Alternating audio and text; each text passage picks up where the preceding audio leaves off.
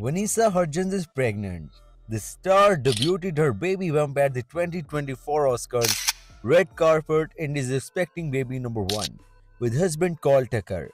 I am jumping for joy for these two. They literally deserve all of the happiness in the world, and my heart cannot take it. The Princess Switch actress revealed her pregnancy while co-hosting ABC's Countdown to Oscars. On the red carpet live at the Dolby Theatre in Los Angeles on Sunday, marched by cradling her baby bump.